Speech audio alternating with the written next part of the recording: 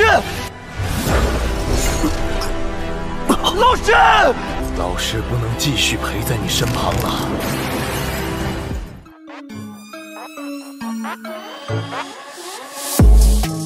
Halo para pecinta Battle Royale Heavens dimanapun kalian berada Gimana nih kabar kalian yang udah lelah seharian beraktivitas?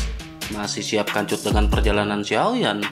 Kuilah gak usah pakai banyak bacot lagi Selamat beristri jahat dan selamat berimajinasi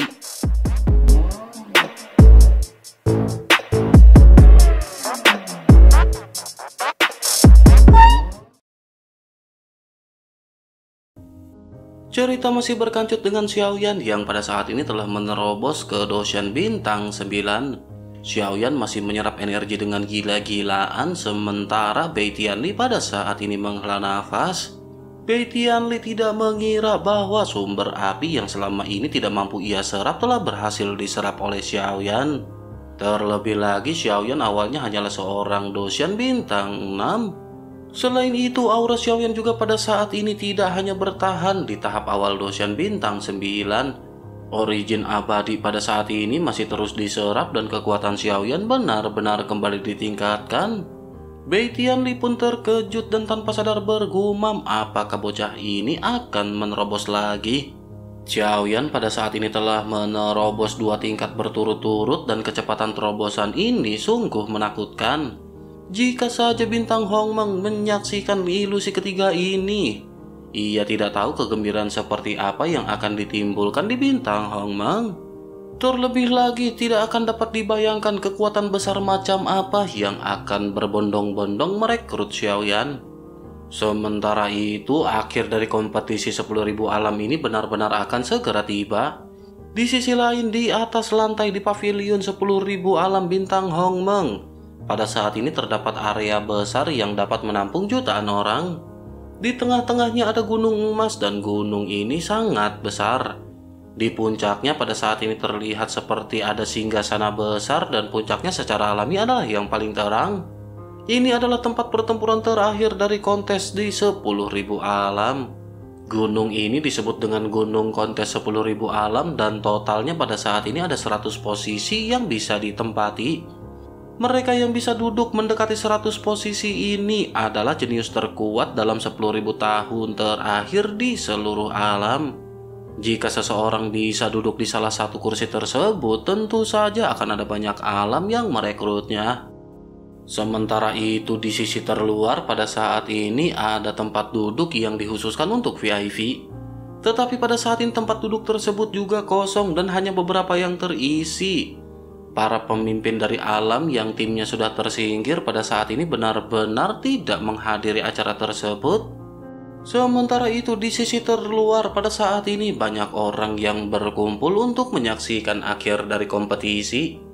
Di platform tinggi ada juga tubuh tinggi dan sosok wanita yang pada saat ini berbincang-bincang. Sosok ini tidak lain dan tidak bukan adalah rancang yang sudah pulih dan Fei Yu. Lengan rancang yang patah pada saat ini sudah pulih tetapi masih ada kesedihan di wajahnya. Jelas pada saat ini ia memikirkan mengenai Xiaoyan yang masih berada di dalam kompetisi. Ye Feiyu pun menyemangati rancang dan berkata agar kakak rancang jangan khawatir. Tim Fearless ada di daftar teratas dan juara kontes ini pastilah dimenangkan oleh tim Fearless. Bahkan pada saat ini nama dari aliansi Dosian juga telah dihapuskan dan tidak ada yang bisa menandingi tim Fearless. Rancang pun tersenyum mendengar apa yang dikatakan oleh Hill Feiyu karena Rancang juga percaya diri kepada Xiaoyan. Sementara itu Feiyu pada saat ini lanjut bergumam bahwa ia tidak tahu kekayaan macam apa yang akan diperoleh saudara junior ke-9 di dalam ilusi ketiga. Ia benar-benar ingin tahu tingkat kekuatan apa yang pada saat ini telah dicapainya. Yofeyu benar-benar khawatir kekuatan dari saudara kesembilan ini akan segera melampaui Yofeyu dan saudara Rancang. Mendengar hal tersebut, Rancang pun menganggukkan kelapanya dan berkata bagaimana jika mereka membuat taruhan. Yofeyu pun menoleh dan berkata bahwa ia yakin saudara laki-laki setidaknya pada saat ini berada di puncak dosian bintang 6. Dengan dia memasuki ilusi ketiga, maka akan ada peluang 50% bagi saudara laki-laki ke-9 untuk menyentuh ke bintang 7 dosian. Rancang pun menggelengkan kelapanya dan melihat hal tersebut, Yufeyu segera bertanya apakah kakak senior Rancang berpikir bahwa hal itu tidak mungkin. Rancang pada akhirnya segera berkata dengan wajah serius bahwa ia yakin adik ke-9 setidaknya menjadi dosen bintang 8 pada saat ini. Yufeyu pada saat ini seketika terkejut dan menatap ke arah Rancang dengan tatapan dingin. Yufeyu pada akhirnya lanjut berkata bahwa pada saat itu adik laki-laki hanya memiliki kekuatan dosen bintang 5. Oleh karena itu pada saat ini kemungkinan yang disebutkan oleh saudara Rancang sepertinya tidak akan mungkin terjadi. Meskipun harta karun di ilusi ketiga ini tidak dapat terbayangkan, tetapi hal itu benar-benar tidak mungkin. Mendengar hal tersebut, Rancang pada akhirnya tersenyum dan berkata kepada Yofeyu bagaimana jika mereka pada saat ini bertaruh. Yofeyu pun menganggukkan kelapanya dan pada saat ini keduanya benar-benar menantikan kehadiran Xiaoyan. Bersamaan dengan keduanya yang pada saat ini sedang berbincang-bincang, di sisi lain pada saat ini ada kerumunan yang ingin menduduki suatu tempat. Bersamaan dengan hal tersebut pada saat ini sesosok gadis dibalut perban bersama dengan seorang wanita juga segera melangkah. Sosok ini tidak lain dan tidak bukan adalah Xiao Yueli bersama dengan Sun Er. Xiao Yueli pada saat ini sedang duduk bersama dengan Sun Er dan menatap ke arah sekelompok yang pada saat ini mendekat. Begitu kelompok ini hendak mengambil tempat duduk, Xiao Yueli segera berkata agar mereka pada saat ini pergi dari sini. Mendengar hal tersebut, pemimpin dari kelompok ini segera berkata, "Apakah gadis kecil ini tahu siapakah mereka?" Mendengar hal tersebut pada saat ini Xiao Yueli hanya tersenyum sementara Suner pada saat ini menahan Xiao Yueli. Sosok-sosok ini rupanya adalah orang-orang dari Istana Bintang yang merupakan salah satu dari alam tertinggi. Sosoknya pada saat ini memandang ke arah Xiao Yueli dengan tatapan dingin Xiao Yueli juga pada saat ini menggertakkan giginya sementara Sun Er pada saat ini masih membujuk Xiao Yueli. Di tengah-tengah kedua belah pihak yang pada saat ini gontok-gontokan pada akhirnya sesosok tubuh segera datang. Pemimpin dari Istana Bintang pada saat ini sedikit terkejut setelah melihat siapakah sosok yang baru saja sampai. Dengan penuh hormat ia pada saat ini segera menangkupkan tangannya kepada sosok yang merupakan Raja Tianzang. Sementara itu, Xiao Yueli pada saat ini juga seketika menoleh dan dengan cepat bergegas memeluk Raja Tianzang. Melihat hal tersebut, pemimpin dari Istana Bintang pada saat ini juga seketika benar-benar terkejut. Pada akhirnya sosoknya tanpa membuang-buang waktu segera berkata bahwa ia pada saat ini akan pergi dari tempat ini. Ia juga pada saat ini ingin meminta maaf kepada si gadis karena sebelumnya ia telah bersikap kasar. Mendengar hal tersebut, Raja Tianzang pada saat ini hanya melambaikan tangannya dan sosok-sosok itu seketika pergi. Pada akhirnya situasi segera kondusif dan Raja Tianzang segera duduk begitu juga dengan Sun Er dan Xiao Yueli.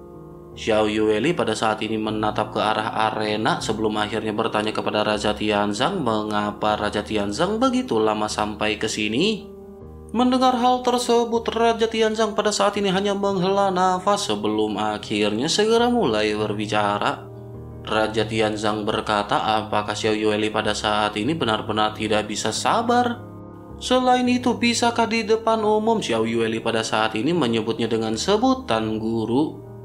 Mendengar hal tersebut, Xiao Yueli pada saat ini sedikit terkejut karena merasakan adanya sesuatu yang berbeda dari Raja Tianzang.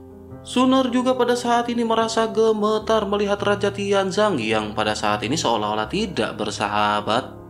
Xiao Yueli pun terdiam sementara Suner pada saat ini segera menyadari sesuatu. Tampaknya pada saat ini ada sesuatu yang benar-benar sedang mengganggu Raja Tianzang. Jika tidak, tidak mungkin Raja Tianzang akan bersikap seperti itu kepada Xiao Yueli. Ini adalah pertama kalinya Raja Tianzang berbicara seperti itu kepada Xiao Yueli. Ini juga pertama kalinya Raja Tianzang seolah-olah tidak peduli kepada Xiao Yueli yang selalu ia manjakan. Sementara itu di sisi lain pada saat ini alun-alun segera meledak dengan penuh sorakan. Mengikuti pandangan semua orang pada saat ini sekelompok sosok telah muncul di bawah kaki gunung. Pada saat ini mata semua orang tertuju pada tim pertama yang mencapai gunung kontes 10.000 alam. Sekelompok sosok ini dipenuhi dengan wanita cantik dan tim ini berasal dari domain bunga. Domain bunga ini merupakan salah satu di antara alam tertinggi. Kelompok dari domain bunga pada saat ini memandang ke arah puncak gunung kontes 10.000 alam.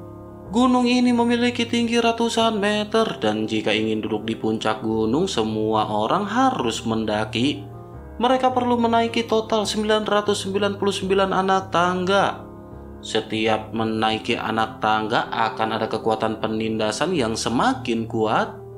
Jika mereka tidak memiliki kekuatan yang cukup dan mereka benar-benar hanya bisa mengalah untuk berdiam diri, Selain itu, poin yang diperoleh di dalam kontes juga akan dapat langsung membantu mereka melewati anak tangga.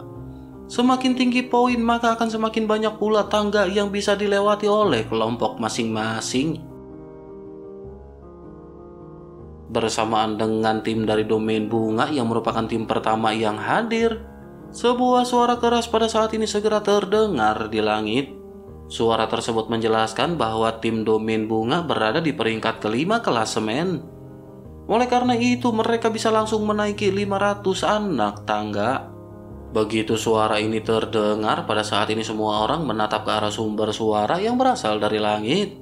Sosok Jijun dan Kyujun pada saat ini melayang di atas arena. Sangat jelas sekali bahwa kedua tetua ini bertanggung jawab atas situasi keseluruhan. Sementara itu pada saat ini kelompok dari tim domain bunga segera mulai melesat menaiki anak tangga. Tak lama setelah orang-orang dari domain bunga ini muncul, ada sekelompok juga yang muncul di lubang cacing. Mata semua orang segera tertuju kepada sosok-sosok yang ternyata berasal dari tim spiritual. Feng Chan pada saat ini menghela nafas sebelum akhirnya ia segera menatap ke arah langit. Feng Chan pada akhirnya lanjut berkata, sepertinya pada saat ini mereka bukanlah orang yang pertama tiba di sini. Ling Fei pun menganggukkan kelapanya dan melihat ke sekeliling sebelum akhirnya Ling Fei pada saat ini segera terkejut. Ling Fei pun segera berkata kepada Feng Chan agar ia pada saat ini melihat klasemen. Feng Chan pun menoleh dan pada saat ini sedikit menyipitkan matanya ketika melihat klasemen. Feng Chan pada akhirnya segera berkata bahwa mereka memiliki peringkat ketiga dan hasil ini cukup memuaskan. Namun apa yang membuat Feng Chan dan Ling Fei pada saat ini terkejut adalah bukan peringkat mereka. Yang membuat mereka terengah pada saat ini adalah peringkat dari tim Fearless yang menduduki peringkat pertama. Bersamaan dengan mereka yang pada saat ini tercengang, sebuah suara segera kembali terdengar. Suara tersebut menjelaskan bahwa tim psikis merupakan peringkat ketiga dan bisa langsung mencapai tangga ke 700. Mendengar hal tersebut pada saat ini salah seorang dari klan domain bunga sedikit terkejut. Sosok yang bernama Yun Meng pada saat ini dengan enggan bergumam sungguh sangat sial padahal mereka yang datang terlebih dahulu. Namun pada akhirnya mereka justru melampaui orang-orang dari domain bunga. Mendengar hal tersebut, sosok Hualan yang berasal dari domain bunga juga pada saat ini mengangkat kelapanya. Ia pada akhirnya segera berkata bahwa tim psikis ini memiliki kemampuan yang lebih unik jika dibandingkan dengan tim domain bunga. Sepertinya poin yang dimilikinya benar-benar sangat luar binasa hingga mengakibatkan ia pada saat ini melampaui tim dari domain bunga. Bersamaan dengan keduanya yang pada saat ini berbincang-bincang di sisi lain di lubang cacing banyak sosok pada saat ini segera muncul. Gunung kontes 10.000 alam pada akhirnya secara bertahap menjadi lebih padat. Seiring berjalannya waktu, suasana di sini juga seketika berubah menjadi semakin hidup. Masih tersisa kurang dari tiga bulan sebelum berakhirnya kontes 10.000 alam. Jika waktu tiga bulan sudah habis, maka jalur untuk menuju ke kontes terakhir benar-benar akan ditutup. Dengan begitu, maka mereka yang belum sampai benar-benar akan terjebak di ilusi ketiga. Mereka yang terjebak di dalam ilusi ketiga benar-benar akan menemui kematian yang sangat intens. Sementara itu kembali ke Xiaoyan yang pada saat ini telah berhenti menyerap origin abadi. Setelah beberapa saat, Xiaoyan pada akhirnya segera membuka mulutnya dan mengeluarkan aura keruh. Namun Xiaoyan juga pada saat ini memancarkan perasaan gembira dan tidak pernah menyangka bahwa Xiaoyan pada saat ini kembali meningkat. Xiaoyan pun bergumam bahwa Xiaoyan pada saat ini telah berada di tahap menengah dari dosian bintang 9. Selain itu tidak hanya kekuatan Xiaoyan yang telah meningkat pesat tetapi juga seni roh pagoda pemurnian telah berevolusi. Dengan evolusi dari seni roh pagoda pemurnian ini, sumber origin abadi di dalam tubuh Xiaoyan juga telah meningkat pesat. Kekuatan enam keinginan Xiaoyan juga pada saat ini kembali terakumulasi. Xiaoyan pun merasakan ke dalam tubuhnya dan pada saat ini kekuatan enam keinginan sudah meningkat 20%. Xiaoyan pun menghela nafas lega tetapi Xiaoyan juga pada saat ini menyadari bahwa semua ini hanyalah sebuah batu lompatan bagi Xiaoyan. Sementara itu, Bei Tianli pada saat ini memandang ke arah Xiaoyan dengan ekspresi indah di wajahnya. Keberhasilan Xiaoyan menyerap sumber api dari leluhur generasi pertama benar-benar tidak terduga di hadapan Bei Tianli. Pada akhirnya Bei Tianli pun segera mengucapkan selamat kepada Xiaoyan karena Xiaoyan benar-benar menciptakan keajaiban. Xiaoyan pun segera berdiri dan menangkupkan tangannya ke arah Bei Tianli dan segera mengucapkan terima kasih. Tanpa bantuan dari senior, Xiaoyan benar-benar tidak akan bisa melakukan semua ini. Tetapi pada saat ini masih ada yang Xiaoyan tidak mengerti. Bukankah di alam Dewa Api, Xiaoyan seharusnya melewati cobaan dari tujuh leluhur? Xiaoyan baru saja melewati cobaan leluhur generasi keempat dan akhirnya dibangunkan secara paksa oleh senior Bei Tianli. Mendengar hal tersebut, Bei Tianli pun perlahan berkata bahwa ia khawatir para leluhur ini tidak akan mengharapkan kekuatan Xiaoyan. Jika tidak, ketika Xiaoyan lulus ujian leluhur generasi pertama, Bei Tianli khawatir Xiaoyan harus tetap berada di alam Dewa Api. Selain itu, jika tebakannya benar pada saat ini, umur Bei Tianli juga telah diambil setidaknya sebanyak seribu tahun. Mendengar hal tersebut, Xiaoyan pada saat ini benar-benar terkejut dan bingung. Xiaoyan pada akhirnya segera bertanya bagaimana mungkin itu bisa terjadi dengan kehidupan dari senior Bei Tianli yang diambil. Bagaimana cara dari alam Dewa Api menghabiskan umur dari senior Bei Tianli? Bei Tianli pun segera menjelaskan kepada Xiaoyan bahwa sejauh yang ia tahu, alam Dewa Api adalah dimensi yang berbeda. Dengan kekuatan Xiaoyan, tidak mungkin bagi Xiaoyan dapat mendukung konsumsi untuk memasuki alam Dewa Api. Selain itu, setelah mengkonsumsi sumber energi Xiaoyan, kekuatan hidup Xiaoyan juga akan dikonsumsi. Dengan begitu, maka masa hidup dari seseorang akan segera berkurang dan itulah yang terjadi. Karena Xiaoyan sekarang memiliki jantung api putih dan jika ada kesempatan di masa depan, Xiaoyan akan memiliki kesempatan untuk bisa memasuki alam dewa api lagi. Tentu saja persyaratannya adalah kekuatan dan energi Xiaoyan yang cukup. Ketika waktunya tiba, maka Xiaoyan akan segera memahami hal tersebut dan bisa mencobanya. Mendengar hal tersebut, Xiaoyan pun segera mengerti bahwa sepertinya ketika memasuki alam dewa api, Xiaoyan harus menggunakan sumber energi dan juga sumber kehidupan untuk mendukungnya. Xiaoyan pada akhirnya kembali mengucapkan terima kasih kepada Bei Tianli atas semua bantuannya. Mendengar hal tersebut, Bei Tianli pada saat ini melambaikan tangannya dan berkata bahwa Xiaoyan pada saat ini tidak perlu terlalu sungkan. Sudah menjadi tugas bagi Bei Tianli dan Bei Tianli pada saat ini memiliki harapan kepada Xiaoyan di masa depan.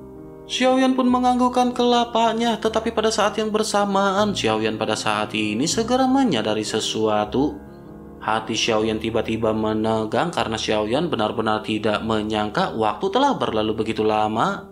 Xiaoyan segera menyadari bahwa pada saat ini sudah waktunya bagi Xiaoyan untuk pergi. Xiaoyan pun segera berkata kepada Bei Tianli bahwa kontes dari 10.000 alam akan segera berakhir. Oleh karena itu inilah saatnya bagi Xiaoyan pergi dan Xiaoyan sekali lagi ingin berterima kasih kepada leluhur. Bei Tianli pun tersenyum sebelum akhirnya segera berkata bahwa ia pada saat ini juga akan menepati janjinya kepada Xiaoyan. Jika Xiaoyan berhasil, ia sebelumnya berjanji akan memberi Xiaoyan tiga hal dari rumah harta karun ini. Oleh karena itu, Xiaoyan pada saat ini dapat memilih apa pun yang Xiaoyan inginkan untuk dibawa Mendengar apa yang diucapkan oleh Bei Tianli pada saat ini Xiaoyan berpikir dengan keras. Xiaoyan pada akhirnya segera teringat sesuatu sebelum akhirnya dengan cepat segera menatap ke arah senior Bei Tianli. Xiaoyan pada akhirnya segera bertanya apakah leluhur memiliki harta yang berhubungan dengan kekuatan kutukan. Xiaoyan pada saat ini teringat Xia Zhenghui yang memiliki kekuatan kutukan. Bagaimanapun juga Xiaoyan berjanji kepada Xia Zhenghui untuk menghilangkan kutukan di tubuhnya. Sementara itu Bei Tianli pada saat ini menggaruk kelapanya mendengar apa yang diminta oleh Xiaoyan. Bagaimanapun juga pada saat ini ada banyak harta karun yang dimiliki oleh Bei Tianli. Ia benar-benar lupa di manakah ia menaruh benda tersebut. Bei Tianli pada akhirnya segera mengobrak-abrik penyimpanan miliknya untuk mencari apa yang dimaksud oleh Xiaoyan. Bei Tianli pun segera berkata kepada Xiaoyan bahwa Xiaoyan pada saat ini jangan khawatir. Biarkan Bei Tianli pada saat ini mencarinya sejenak sementara Xiaoyan pada saat ini bisa berkeliling. Xiaoyan pun mengangguk dan Xiaoyan pada saat ini segera berkeliling untuk melihat-lihat. Setelah berjalan sesaat, Xiaoyan pada saat ini sedikit tertarik dengan penutup kain berwarna abu-abu yang berada di pojokan. Xiaoyan pun segera menghampiri dan menyingkap kain tersebut sebelum akhirnya melihat sesosok boneka. Xiaoyan pun sedikit terkejut dan Xiaoyan pada saat ini memandang dengan dalam ke arah boneka tersebut. Jika menilai dari spesifikasi boneka ini, Xiaoyan berpikir mungkin levelnya jauh lebih tinggi jika dibandingkan dengan Fallen Angel. Setelah itu Xiaoyan pun menggelengkan kelapanya dan pada saat yang bersamaan mata Xiaoyan segera tertuju kepada banyak ramuan obat langka. Terlebih lagi pada saat ini Xiaoyan juga melihat banyak gulungan resep dari ramuan. Banyak kotak yang pada saat ini berisi ramuan dengan resep dan juga bahan-bahan obat. Mata Xiaoyan pada saat ini berbinar sebelum akhirnya Xiaoyan juga sedikit terkejut. Xiaoyan tanpa sadar segera bertanya kepada Bei Tianli apakah senior juga merupakan alkemis. Mendengar hal tersebut, Bei Tianli pun segera berkata bahwa menjadi alkemis hanya duduk di depan tungku sepanjang waktu. Ia tidak memiliki kesabaran seperti itu, oleh karena itu ia tidak tertarik dengan dunia alkemis. Mendengar perkataan dari Bei Tianli ini, Xiaoyan seketika menjadi sangat gembira. Xiaoyan pada akhirnya segera bertanya kepada Bei Tianli, bolehkah Xiaoyan pada saat ini mendapatkan resep dan semua benda ini? Bei Tianli pun seketika menoleh sebelum akhirnya segera berkata, jangankan yang itu, ia bakal ngasih Xiaoyan yang lebih mantep lagi. Xiaoyan pada saat ini semakin gembira mendengar apa yang baru saja dikatakan oleh Bei Tianli. Sementara itu di sisi lain Bei Tianli pada saat ini sepertinya telah menemukan apa yang ia cari. Ia pada akhirnya segera bergegas ke arah Xiaoyan dan segera memberikan beberapa bahan obat serta resep yang sebelumnya ia sebutkan. Mata Xiaoyan pada saat ini berbinar dan bersamaan dengan hal tersebut Bei Tianli juga pada saat ini segera memberikan Xiaoyan sesuatu. Bei Tianli segera menyodorkan tangannya ke hadapan Xiaoyan dan pada saat ini ada empat botol yang berjejer. Masing-masing botol ini memiliki warna berbeda dan dikemas dalam sebuah kotak. Xiaoyan pada akhirnya segera bertanya kepada Bei Tianli apakah Xiaoyan pada saat ini bisa mengambil semuanya. Bei Tianli pun menggelengkan kelapanya dan berkata bahwa Xiaoyan pada saat ini hanya bisa mendapatkan satu. Namun ia lupa membuat catatan oleh karena itu ia tidak tahu botol yang mana yang dimaksud oleh Xiaoyan. Sebaiknya Xiaoyan pada saat ini memilih salah satu dan Xiaoyan akan mengetahui hasilnya nanti. Xiaoyan pun pada saat ini merasa sakit kelapa mendengar apa yang diucapkan oleh Bei Tianli. Xiaoyan pada akhirnya mau tidak mau segera bertanya apakah cairan spiritual ini beracun. Bei Tianli pun menggelengkan kelapanya dan berkata bahwa ia tidak tahu. Namun yang ia tahu sepertinya ada botol yang berisi cairan untuk menghilangkan kekuatan kutukan. Jika Xiaoyan kurang beruntung dan mengambil botol yang salah, mungkin Xiaoyan hanya akan memperburuk keadaan. Tetapi bukankah Xiaoyan selalu mendapatkan keberuntungan dari langit? Xiaoyan pada saat ini hanya bisa tersenyum pahit dan memikirkan kondisi dari Xia Zhenghui. Xiaoyan pada saat ini khawatir Xiaoyan salah mengambil cairan untuk menyembuhkan Xia Zhenghui. Tetapi Xiaoyan tidak memiliki pilihan lain selain memilih salah satu botol yang ada di sini. Xiaoyan pada akhirnya memeriksa dengan hati-hati satu persatu botol yang berada di hadapan Xiaoyan. Setelah selesai, pada akhirnya Xiaoyan menggertakkan gigi dan segera mengambil satu botol. Sementara itu, Bei Tianli pada saat ini segera lanjut berkata bahwa Xiaoyan sepertinya sudah mendapatkan dua harta. Oleh karena itu, pada saat ini Xiaoyan masih memiliki satu harta untuk dibawa. Xiaoyan jangan terburu-buru dan Xiaoyan bisa meluangkan waktu untuk mencari apa yang pada saat ini Xiaoyan inginkan. Mendengar hal tersebut, Xiaoyan pada saat ini masih teringat kepada Xia Zhenghui. Xiaoyan berniat untuk membantu Xia Zhenghui mematahkan kutukan dan membentuk kembali tubuh. Oleh karena itu, Xiaoyan pada saat ini membutuhkan tubuh yang cocok dan Xiaoyan berinisiatif untuk bertanya kepada Bei Tianli. Xiaoyan pun segera bertanya apakah leluhur pada saat ini memiliki sesuatu di sini yang dapat membentuk kembali tubuh. Bei Tianli pun menganggukkan kelapanya dan pada saat ini segera melambaikan tangannya sambil berkata bahwa sepertinya ia memiliki satu di sini. Setelah itu sebuah kotak kristal seukuran telapak tangan segera tergantung di telapak tangannya. Xiaoyan pada saat ini sangat gembira ketika mendengar apa yang baru saja diucapkan oleh senior Bei Tianli. Senior Bei Tianli juga pada saat ini segera menjelaskan apa yang berada di tangannya. Ia berkata bahwa ini adalah tubuh roh Huang Shen. Ia mendapatkannya dari membunuh seseorang dosen atau dogat. Ia juga pernah mendengar bahwa tubuh tersebut akan bisa menghasilkan banyak uang karena ia dapat membantu seorang dogat untuk membentuk kembali tubuh. Xiaoyan pada saat ini menghela nafas setelah mendengar sedikit deskripsi mengenai tubuh roh Huang Shen atau tubuh roh cemerlang. Jika semuanya sesuai dengan apa yang diucapkan oleh senior Bei Tianli, bukankah itu berarti tubuh ini jauh lebih kuat jika dibandingkan dengan tubuh kaca milik Jiang Ya? Xiaoyan pada akhirnya merasa sangat senang dan mata Xiaoyan berbinar. Menyadari hal tersebut, Bei Tianli pun segera berkata bahwa Xiaoyan bisa mengambilnya karena itu tidak berpengaruh kepada Bei Tianli. Tetapi ia pada saat ini benar-benar sangat penasaran dengan apa yang dipilih oleh Xiaoyan. Tampaknya selain dari pil dan ramuan, dua harta karun yang lainnya sepertinya bukan untuk Xiaoyan sendiri. Xiaoyan pun mengangguk dengan ringan dan tersenyum dan Xiaoyan tidak ingin menutupi semuanya. Xiaoyan lanjut berkata bahwa Xiaoyan telah berjanji kepada saudaranya bahwa ia akan membantu saudaranya mematahkan kutukan dan membentuk kembali tubuhnya.